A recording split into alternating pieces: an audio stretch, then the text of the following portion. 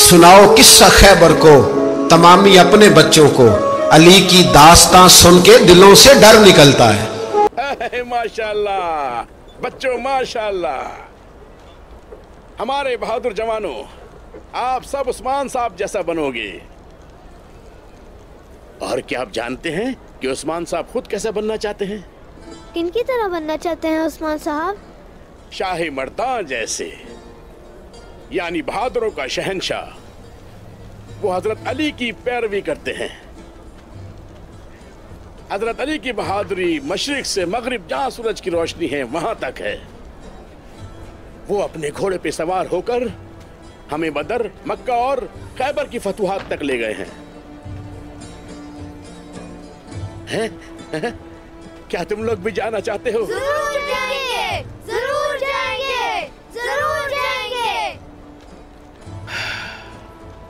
बच्चों जब हमारे प्यारे नबी ने खैबर का घेराव किया ये मुहासरा मुसलसल 20 दिन तक जारी रहा। वहाँ पर हर रोज कई जवान शहीद होते। 2000 लोग वहाँ शहीद और 5000 जख्मी हुए। हम्म, मगर हार नहीं मानी। मुसलमानों को डरना जेब देता है क्या? बिल्कुल भी नहीं! बिल्कुल भी नहीं!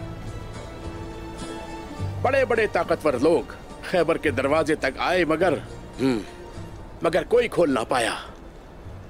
हमारे प्यारे नबी ने सिया झंडा अपने हाथों में उठाया।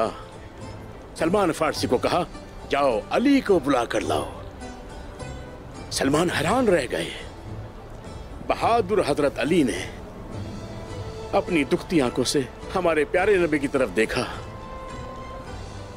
हमारे प्यारे नबी ने अपना लुआब दहन हज़रत अली की आँखों में लगाया उनकी तकलीफ़ दूर हो गई। और सिया झंडा अली को पकड़ा कर कहा ए अली अब तुम खैबर के इस किले को फतह करोगे मेरे प्यारे अली। हम्म, वो पीछे नहीं हटे क्योंकि ये नबी का हुक्म था। हज़रत अली ने सिपाहियों का भी इंतज़ार नहीं किया। उन्होंने झंडा उठाया और अपनी जुल्फकार साथ ली। किसी शेर की तरह मैदान जंग की तरफ़ रवाना हो गए। अल्लाह अल्लाह अल्लाह अल्लाह अल्लाह अल्लाह। खैबर में तहलका मच गया। सारे यहूदी परेशान हो गए। वो कहने लगे, पूरी फौज के सामने ये अकेला कौन आ गया? उन्होंने पूछा, कौन हो तुम? हज़रत अली ये सुनकर उनसे बोले, नहीं जानते, मैं शाही मर्दा इस जंग का सिपाही और अल्लाह का बंदा हूँ। बेटा हूँ अबू तालिब का।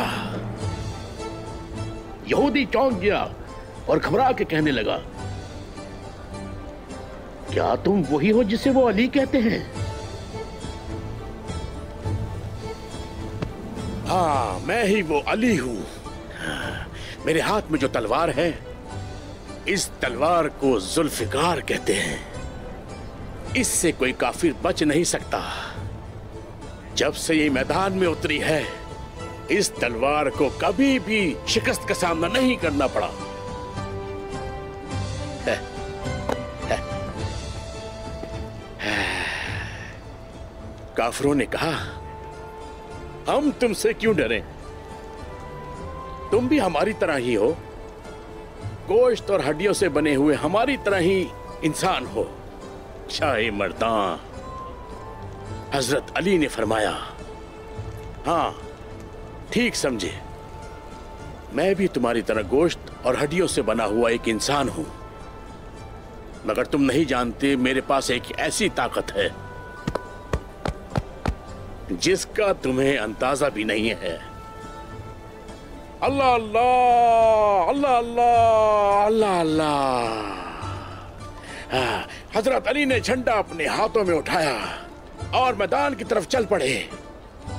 किसी तेज रफ्तार परिंदे की तरह उड़ते चले गए सुबह अल्लाह खैबर के उस दरवाजे तक पहुँचे जिसे कोई ना खोल पाया था। हज़रत अली को जलाल आया और उन्होंने अपने मज़बूत हाथों से शेर के पंजे की तरह दरवाजे को पकड़ा और उसे खींच निकाला। किले का दरवाज़ा एक झटके में बाहर आ गया। उन्होंने उसे ऐसे उतार फेंका दरवाजे के दो टुकड़े होकर ज़मीन में गिर गए। अल्लाह!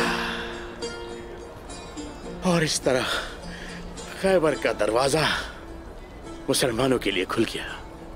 हज़रत अली रज़ी अल्लाह ताला के पास वो कौन सी ताकत थी? ईमान की ताकत अहमद बेटा, ईमान की ताकत। कुफार का मुकाबला करने के लिए किसी बहादुर के पास तलवार से पहले ईमान की ताकत होनी चाहिए।